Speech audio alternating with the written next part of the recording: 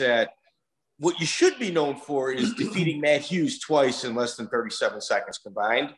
But everybody knows you as the Speedo guy. Whose idea was, was? Did you lose a bet with somebody? I lost a bet, and my buddy he was gonna have to uh, sleep with a 68 year old lady. So um, so uh, I had I had to follow through with the, with the bet because I would have made him sleep with the lady. So. Um, so, So- uh, man, how much did you get paid for that? Yeah. I don't remember, but um, I got paid. Uh, you know that that was one of the last, the end of the sponsorship era. Yeah. Um, you know, I got. I mean, it was over twenty. So That's I- pretty I- I good. should- the reason why I, I know it was that because um I had to I should have pulled out of the fight. If you watch that fight real carefully, I I went and in the hospital. That fucking doctor from the UFC screwed me over. Thursday I went into him and I was like, "Yo, man, um, I got a swell in my in my arm," and um, so he gives me a shot of uh, of, of cortisol, Move your which finger. the Hey, Dennis, you're hold, you're covering the camera again. I had a staph infection in my elbow, and um, he gave me a shot in my elbow of cortisol, which is like the wrong thing, or corti- cortisone, which is the wrong thing to do to a staph infection because it blew up huge. Look at that. Look at that fight! Like I, I get right on that guy's back and I throw the, I throw the rear naked on, and he just grabs my arm and pulls it right off. Because I have zero strength in my arm because it's and it looks if you look at the, the forearm, it looks like Popeye surprise because it's already swollen up huge, and um, they drain like like 12 cc's of pus out of my arm at the hospital. Yeah. It was uh, it was terrible.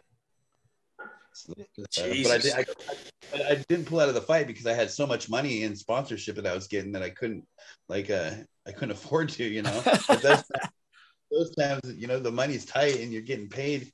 You know, I know the UFC would have paid me my show money, but I couldn't afford to not get paid all the sponsorship too.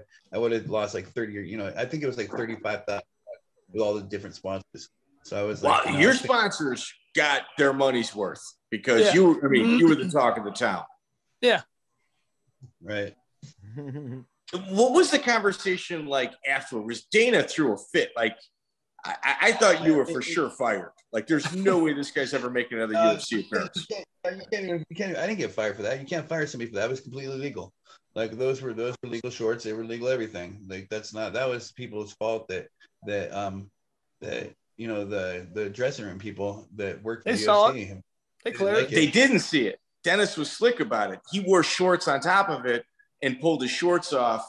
I, dude, I watched it like 20 times trying to figure out how you got through like all of Uh, the safety they- they- measures. No, you're wrong though. They know what you're wearing when you go out there, and I showed them what I was wearing. They know what you're wearing before you go any before you show anything. You have to Yeah. show them your shorts, and I showed them the shorts I was wearing. So you did. I figured you hid it from them, but you just kind of did it like a last second thing. Man, there's no hiding. You can't do that. You have to show them everything that you were going to wear. That's part of the game. Wow. And uh, they, those people might have got in trouble, but I didn't get no trouble. hey, did he come in and talk to you? Did Dana come in and talk to you about it? They were. He, there's nothing to say to me. Like, like uh, you can't. I didn't do anything wrong. yeah, that that's to the people in the like you gotta show them your stuff before and they make you show your stuff. So that's on them. If they saw it, didn't say anything to them, what do you want to say? See, I, I- just figured like you wore shorts on top of it, walked all the way to the ring, dropped the shorts, and went in there with what it is you were wearing. That, that's what that's what people that don't aren't fighters they like they make up things. Not, not to offend you know I mean you guys come up with reasons why but that's not really how it works. And you gotta you gotta show up all your stuff.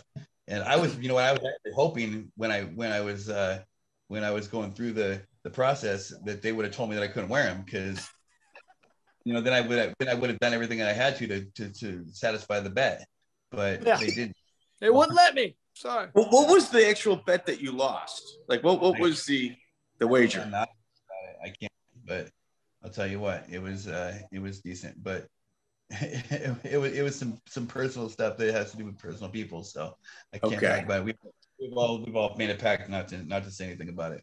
But, but think about it, that my my boy was gonna have to sleep with a 68 year old lady named Zelda, so All right, that's not. Yeah, that, that- that's enough. So at UFC 140,